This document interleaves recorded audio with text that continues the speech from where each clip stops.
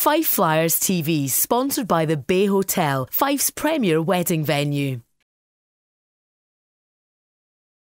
Shane, what's your, your reaction to getting the, the Players Player of the Season and the Fans Player of the Season awards tonight? Oh, it's amazing. I'm honestly, I'm humbled and uh, grateful. I mean, to get that award from the fans is amazing for them to stick by with us all season and uh, show their appreciation and, and, support for me. I guess in that sense, it's, it's it's awesome. And from my own teammates, that's that's even more amazing. I mean. Uh, for what we've done all year, I'm grateful that we've all battled together. I'm happy to uh, call them my team. Was that something you were expecting to win to win both categories? No, I, I didn't expect to win anything, but it's it's amazing. I'm humbled, like I said, and uh, it's awesome. Um, how much have you enjoyed your, your season so far in, in Kirkcaldy?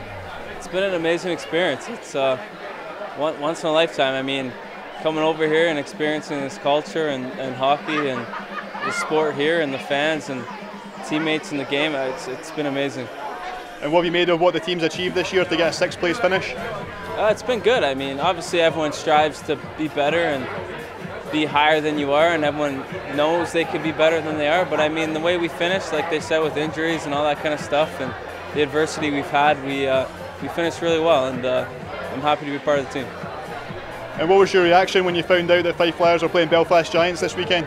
I'm excited. I mean, all we can control is our game. We, I mean, try not to worry about them and just kind of play our game and do our thing, and uh, everything should take care of itself. And do you take confidence from the fact that Fife have had three wins over Belfast this year so far? Yeah, of course. I mean, uh, that's some confidence to ourselves and then kind of puts not less pressure on us, but allows us to play our game and not worry too much and just go out there and, and have fun and uh, do our best and see how we finish. And you've never played in a two game aggregate game before, have you?